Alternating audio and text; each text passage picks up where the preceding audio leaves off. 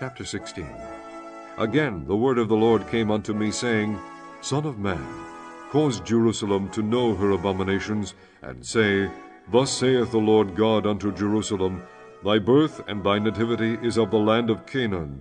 Thy father was an Amorite, and thy mother an Hittite. And as for thy nativity, in the day thou wast born, thy navel was not cut, neither wast thou washed in water to supple thee. Thou wast not salted at all, nor swaddled at all. None eye pitied thee to do any of these unto thee, to have compassion upon thee. But thou wast cast out in the open field, to the loathing of thy person, in the day that thou wast born.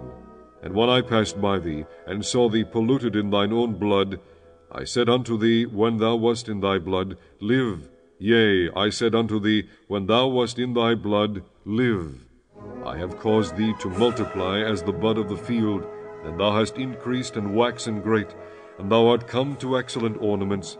Thy breasts are fashioned, and thine hair is grown, whereas thou wast naked and bare. Now when I passed by thee, and looked upon thee, behold, thy time was the time of love. And I spread my skirt over thee, and covered thy nakedness. Yea, I swear unto thee, and entered into a covenant with thee, saith the Lord God, and thou becamest mine. Then washed I thee with water, yea, I thoroughly washed away thy blood from thee, and I anointed thee with oil. I clothed thee also with broidered work, and shod thee with badger's skin, and I girded thee about with fine linen, and I covered thee with silk. I decked thee also with ornaments, and I put bracelets upon thy hands, and a chain on thy neck, and I put a jewel on thy forehead, and earrings in thine ears, and a beautiful crown upon thine head.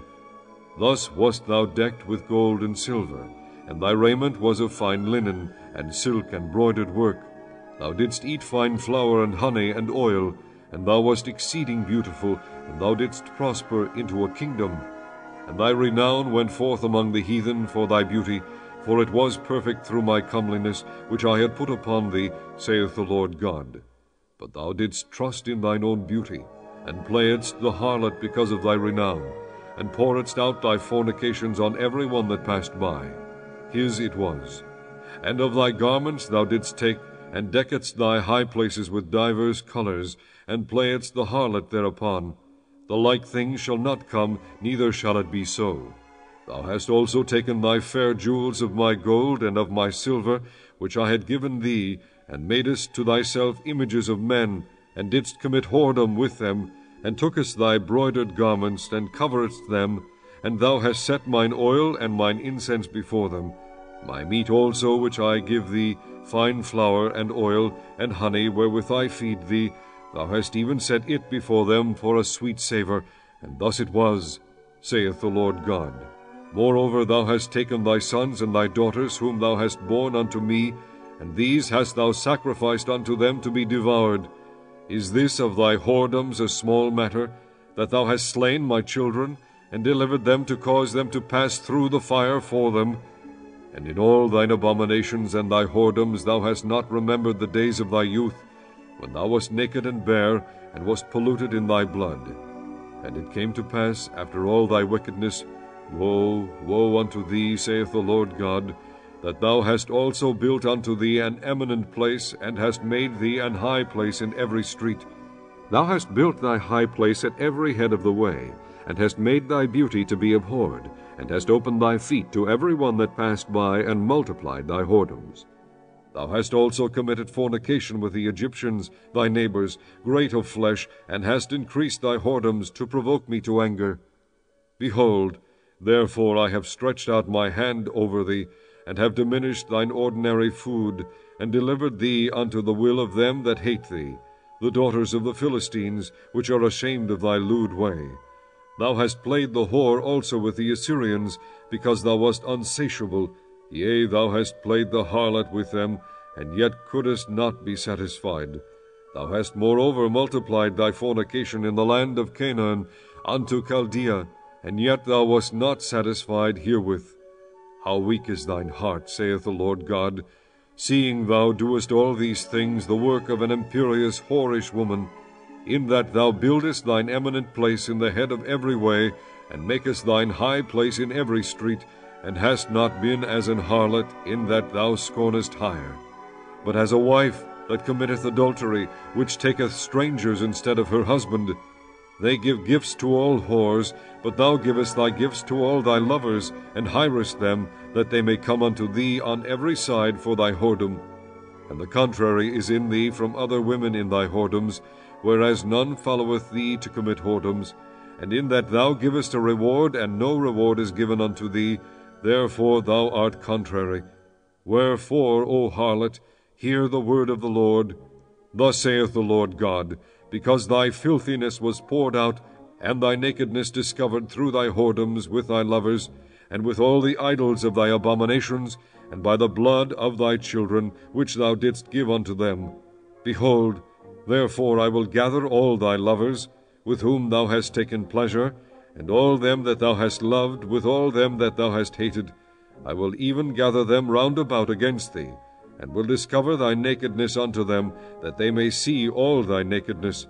And I will judge thee, as women that break wedlock and shed blood are judged. And I will give thee blood in fury and jealousy. And I will also give thee into their hand, and they shall throw down thine eminent place, and shall break down thy high places. They shall strip thee also of thy clothes, and shall take thy fair jewels, and leave thee naked and bare. They shall also bring up a company against thee, and they shall stone thee with stones, and thrust thee through with their swords. And they shall burn thine houses with fire, and execute judgments upon thee in the sight of many women. And I will cause thee to cease from playing the harlot, and thou also shalt give no hire any more. So will I make my fury toward thee to rest, and my jealousy shall depart from thee, and I will be quiet, and will be no more angry because thou hast not remembered the days of thy youth, but hast fretted me in all these things. Behold, therefore I also will recompense thy way upon thine head, saith the Lord God. And thou shalt not commit this lewdness above all thine abominations. Behold, every one that useth proverbs shall use this proverb against thee, saying, As is the mother, so is her daughter.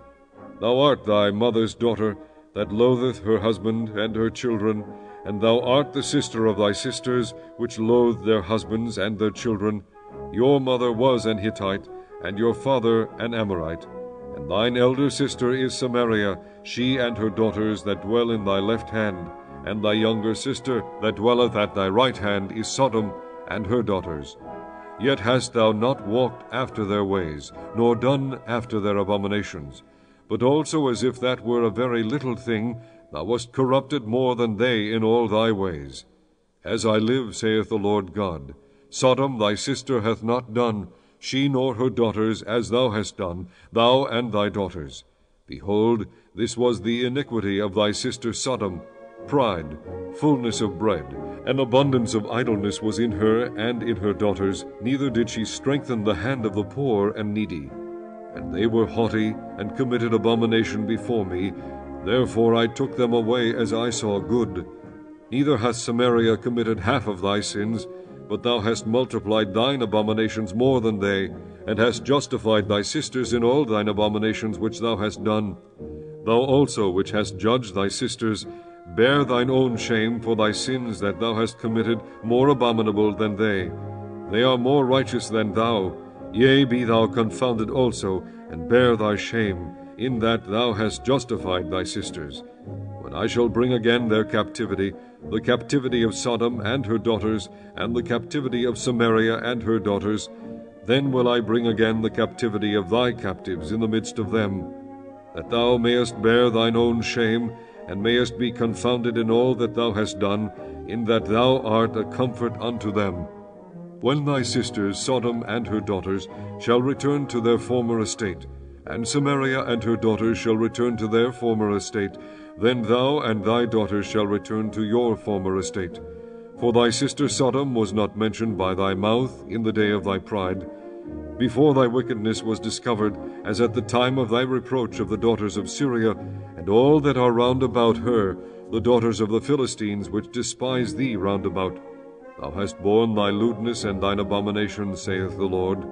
For thus saith the Lord God, I will even deal with thee as thou hast done, which hast despised the oath in breaking the covenant. Nevertheless, I will remember my covenant with thee in the days of thy youth, and I will establish unto thee an everlasting covenant. Then thou shalt remember thy ways, and be ashamed, when thou shalt receive thy sisters, thine elder and thy younger, and I will give them unto thee for daughters, but not by thy covenant. And I will establish my covenant with thee, and thou shalt know that I am the Lord. That thou mayest remember and be confounded, and never open thy mouth any more because of thy shame, when I am pacified toward thee for all that thou hast done, saith the Lord God.